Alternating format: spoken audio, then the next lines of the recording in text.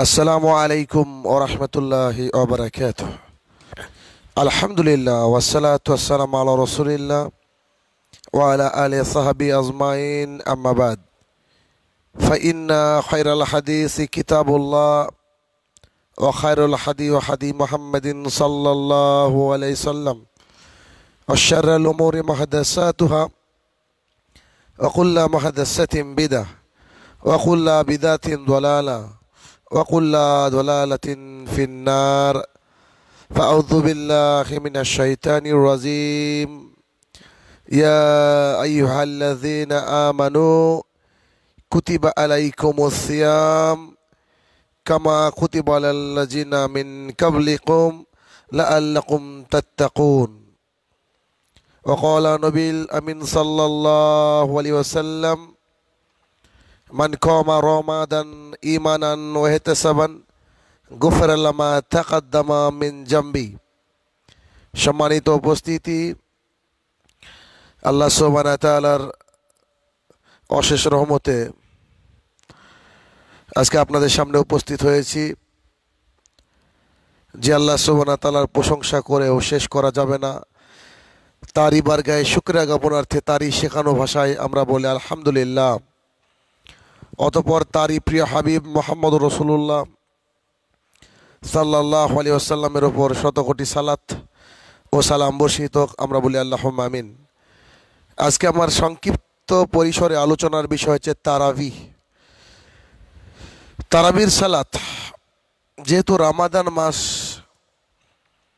শুরু হতে না হতেই, রামাদান মাসের শুরুতেই আমাদের প্রথম ইবাদতে হয় তারাবির সলা অর্থাৎ তারাবির মাধ্যমেই কিন্তু আমাদের রামাজান মাসটা শুরু হয়, আলহামদুলিল্লাহ।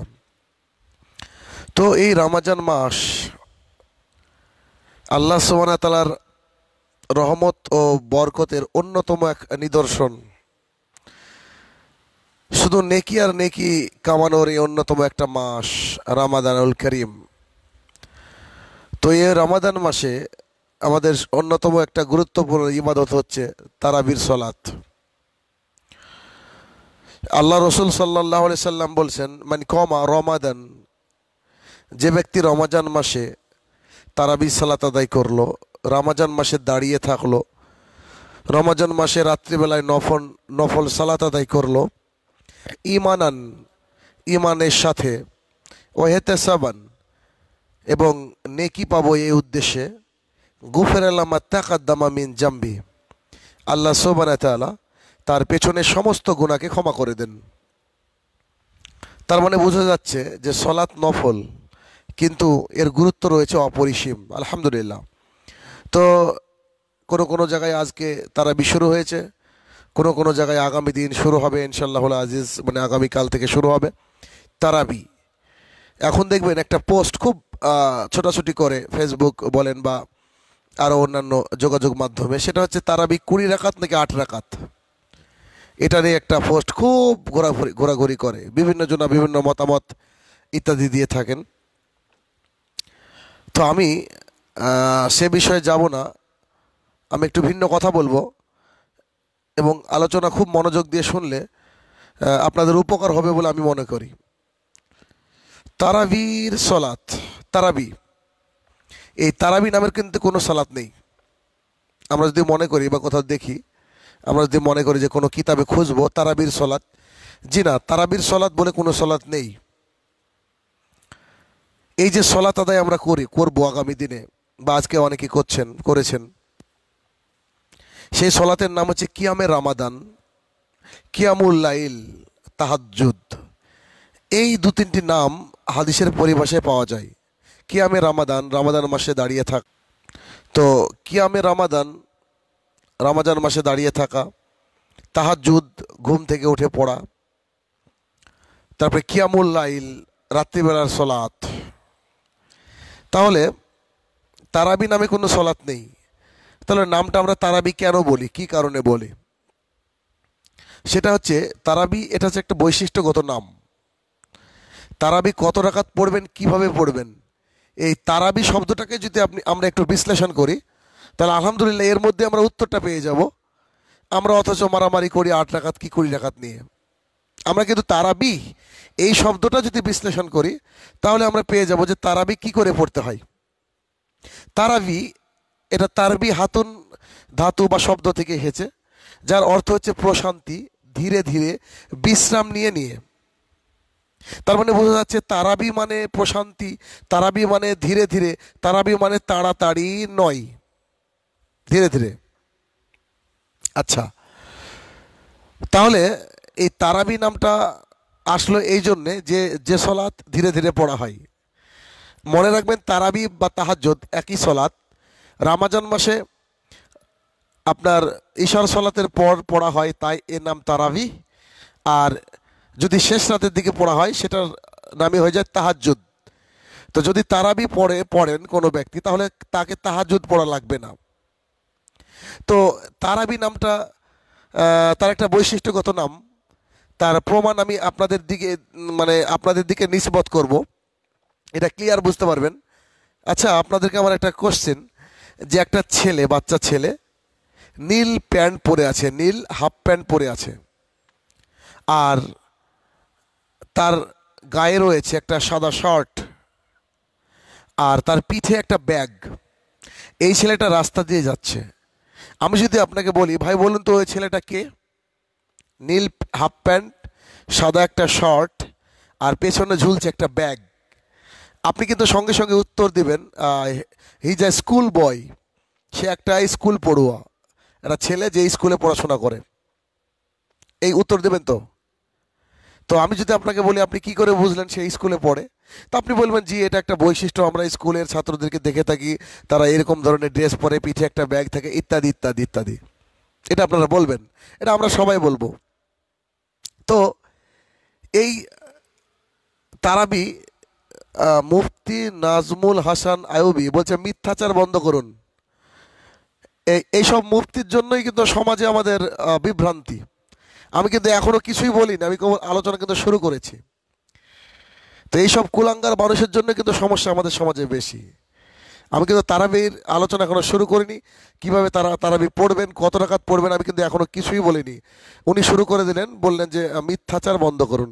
তাহলে চিন্তা করুন, এরা মুফতি নাকি এদের কাছ থেকে আমরা কবে মুক্তি পাবো এটা তো বুঝি না রে ভাই।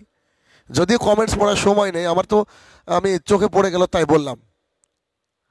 আমি কিন্তু এখনও বলিনি যে আট টাকাত পড়বেন কি কুড়ি টাকাত পড়বেন।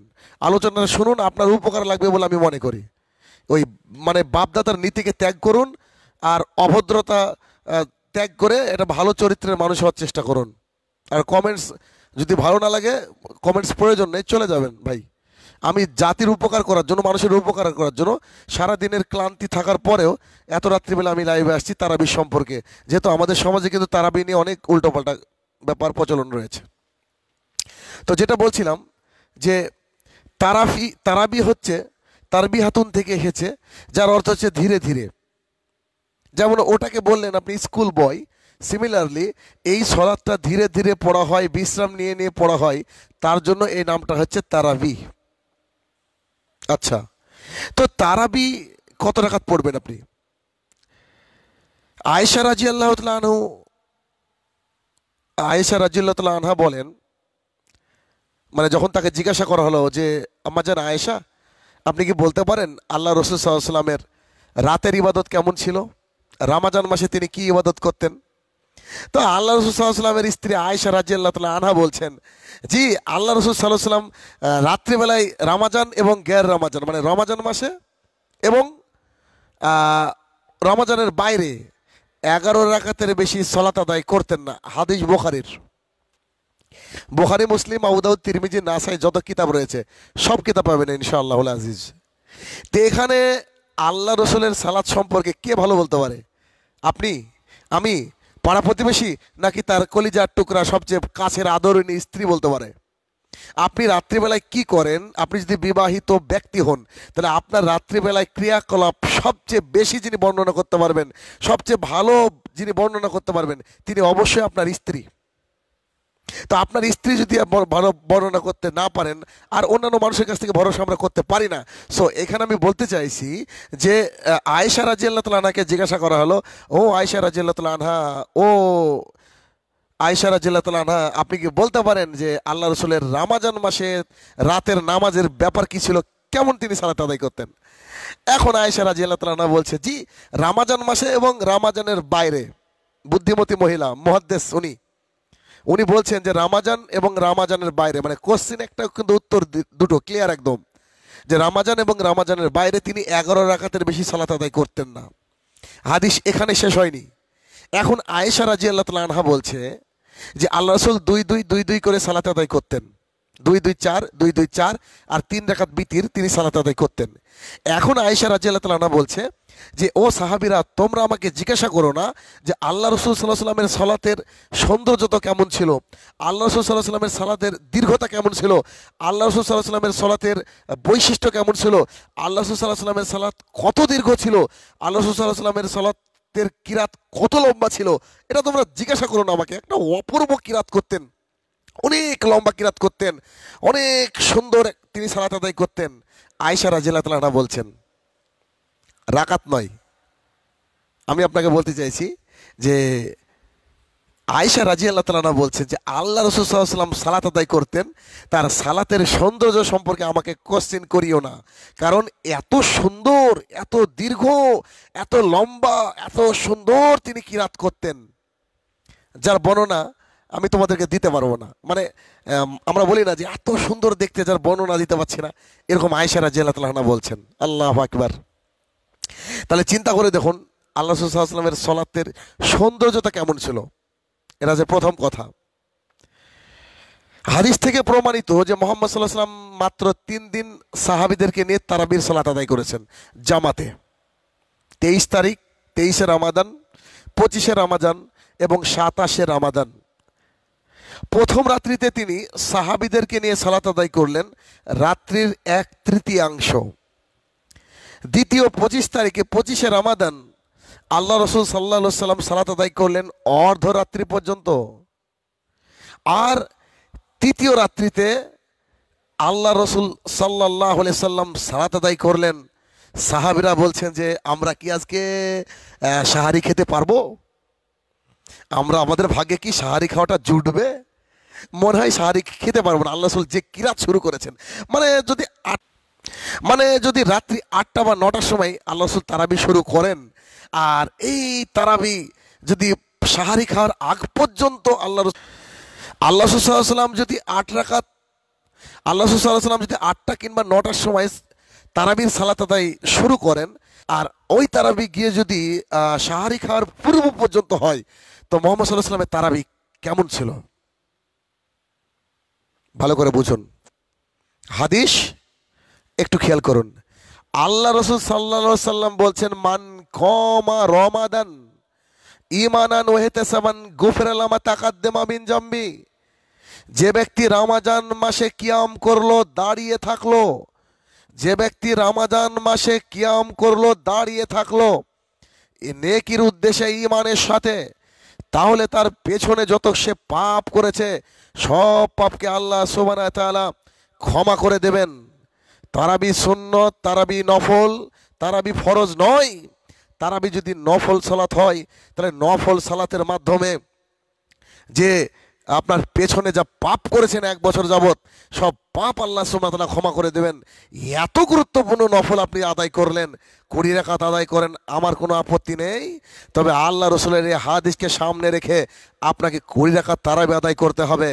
আয়সা রাজি আল্লাহ তালানা বলেন যে, তার সৌন্দর্য, সলাতের সৌন্দর্য আমাকে জিজ্ঞাসা করিও না। আল্লাহ রসুল অর্ধরাত্রি পর্যন্ত সালাত আদায় করেছেন। আল্লাহ রসুল্লাহাম রাতের প্রায় শেষ ভাগ পর্যন্ত প্রায় সালাত আদায় করেছেন। সাহাবির আশঙ্কা করছে, মনে হয় ভোর হয়ে যাবে, আমরা মনে হয় সাহারি খেতে পাবো না। আল্লাহ এভাবে সালাত আদায় করেছেন। জি এই কথাটা আপনাকে খেয়াল করে দেখতে হবে যে আল্লাহ রসুল সাল্লামের সালাত কত দীর্ঘ ছিল। আরে, আট রাকাতি পড়ার সুযোগ নেই। আপনি যদি আটটা, নটার সময় তারাবি সালাত আদায় করেন, যদি আপনি ধীরে সুস্থে সালাত আদায় করেন, যদি একটু বড় সেরা কিরাত দিয়ে সালাত আদায় করেন, তাহলে আপনার অর্ধরাত্রি হয়ে যাবে।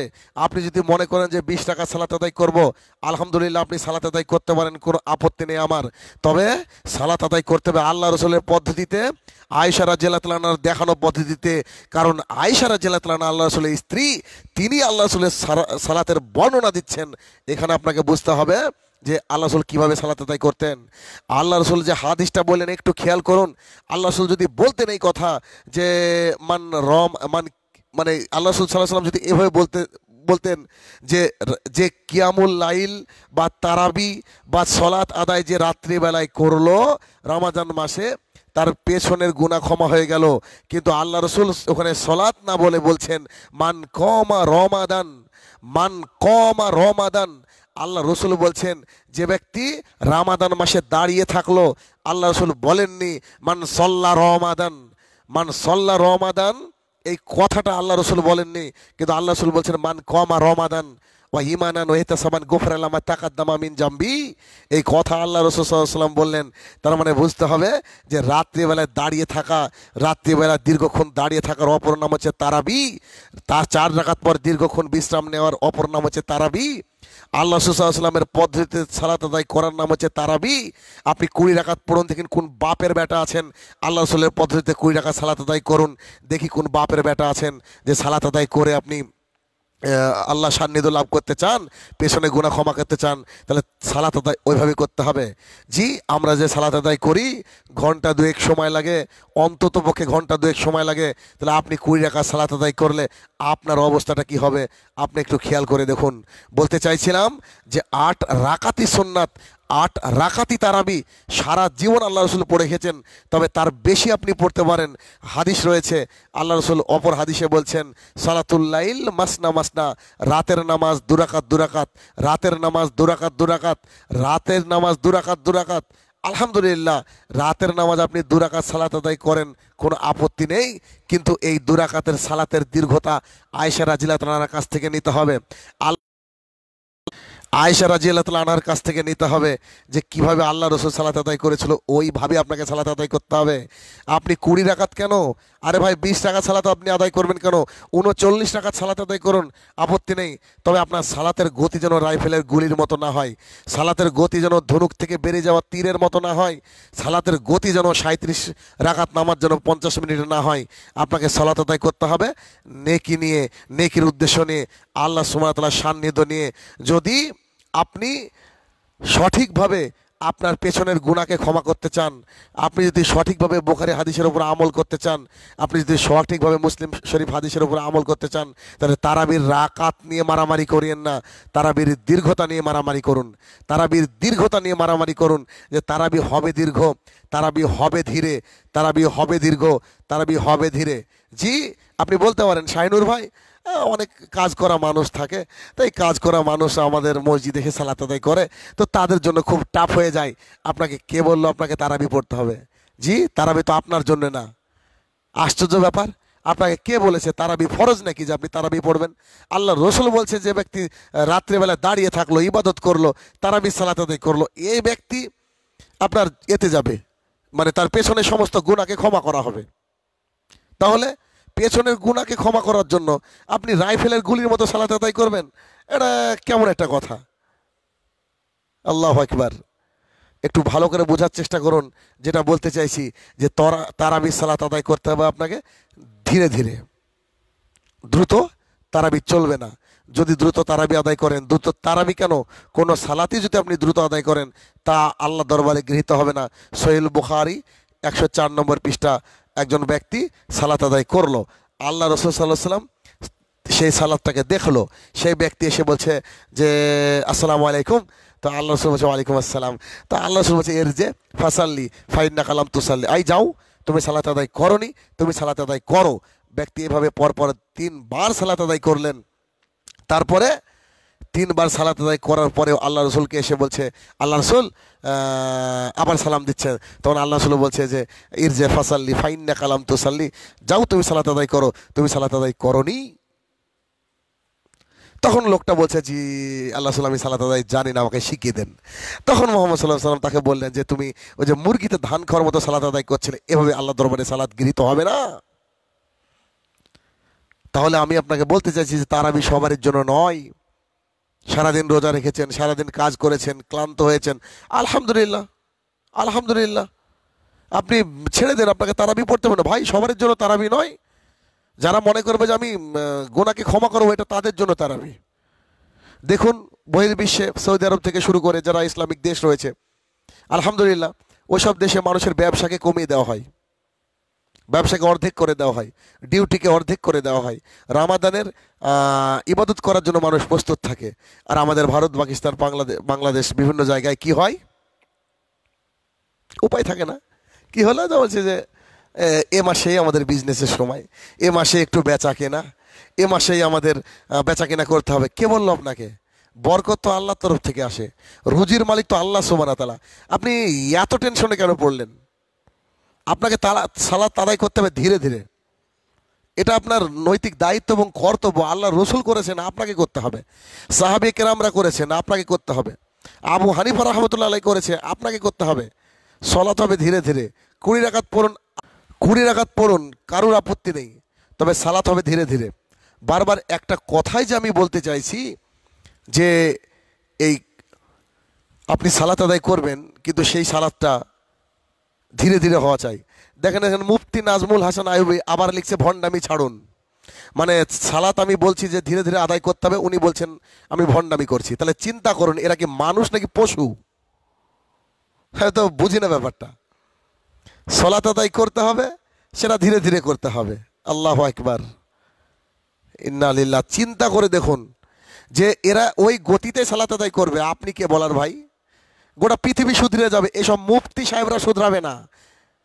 বুঝতে পারলেন? সমস্যা হচ্ছে এইটাই এখানেই যাই হোক, বারবার ডিস্টার্ব করছে মুফতি সাহেব। তো ইনশাল্লাহ বিচারের মাঠে এসব লোককে দেখা যাবে, কি যে অবস্থা হবে আল্লাহই ভালো জানে। তো যাই হোক, যেটা বলছিলাম যে সলাৎ আপনাকে আদায় করতে হবে, তারাবির সলাৎ, নেকির উদ্দেশ্যে ইমান নিয়ে। যাতে করে আপনি আপনার পেছনের গোমা, গোনাকে ক্ষমা করাতে পারেন। এই ভেবে, এই চিন্তা নিয়ে, এই গতি নিয়ে আগামী দিনের পথ চলতে হবে। যারা আজকে শুরু করেছেন, আলহামদুলিল্লাহ, যারা আবার আগামী দিনে কালকে শুরু করবেন, হয়তো আমাদের এখানে তারাবি মনে হয় কালকেই শুরু হবে। আল্লাহ আলম। ইনশাল্লাহ আগামী দিন থেকে আমাদের তারাবি যেন সুন্দর হয়, আল্লাহ রসুলাম যেন সুন্দরভাবে আল্লাহ রসুলের তরিকাকে আমরা মেনে নিতে পারি, সেই কথাগুলো আল্লাহ রসুলের সেই সময়ের সলাৎ, সেই সময়ের অনুপম সলাতের যে দৃশ্য হ্যাঁ নয়ন জোড়ানো যে দৃশ্য, আল্লাহ একবার সেই নয়ন জোড়ানো দৃশ্য যেন আমাদের মাঝে থাকে, সেই সুন্দর সলাৎ আল্লাহ রসুলের মতো মন কাড়া, প্রাণ কাড়া সালাদ যেন আমরা, আলহামদুলিল্লাহ আদায় করতে পারি। তার জন্য আল্লাহ আমাদেরকে তৌফিক আদায় করুক আল্লাহ মামিন ফারুক হোসাইন, আমি আপনাকে প্রশ্ন করতেছি, উত্তর দেন ভাইজান। কুড়ি টাকা যদি আমরা না পড়ি, আমাদের গুণা হবে নি? দশ টাকা তুললে কি সমস্যা আছে কিনা সেটা বলবেন। এবার কোন জাহেল রে ভাই? কুড়ি টাকা, দশ টাকা মানে বুঝলাম না তো? তারাবির সলাৎ নিয়ে আপনি ইয়ার কি করছেন নাকি আবার? যে কুড়ি টাকা, দশ টাকা, এটা কেমন কথা? ইন্না লিল্লাহ। আল্লাহ আকবার। যাই হোক কিছু কিছু মানুষের জন্য আলোচনাটা হয়তো অন্যদিকে মোড় চলে যায়। মানে একটা গুরুত্বপূর্ণ বিষয় নিয়ে আলোচনা করি আর মানুষের কথাবার্তার ইয়েটা এমন একটা হয়। হুম। তো যাই হোক, আবার কি বলছেন? সলা, সলাৎ না ভাইজান? সালাত, নামাজ, আপনি তো কথাগুলো শুনতে পাচ্ছেন না। আপনি তো কি বলে রে বাবা আল্লাহ একবার যাই হোক আল্লাহ সোমানা তালা আমাদেরকে আগামী দিনের তারাবিকে তারাবির মতো, তারাবিকে তাড়াতাড়ি নয়, তারাবিকে তারাবির মতো আদায় করার তৌফিক আদা করুক, সবাই বলে আল্লাহ আমিন। আর তারাবি আদায় করতে হবে, এই নিয়াত নিয়ে যে পেছনে যা পাপ করেছে ইনশাল্লাহ সব ক্ষমা করাবে ইনশাল্লাহ আজিজ। এই চিন্তাধারা করে তারাবি পড়বেন, খবরদার তারাবির মানে তাড়াহুড়া করবেন না। সলাৎকে হেফাজত করুন।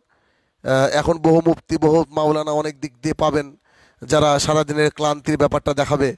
কিন্তু আমি অবাক হয়ে যাই যে সাহাবিদের অবস্থাটা একবার দেখুন।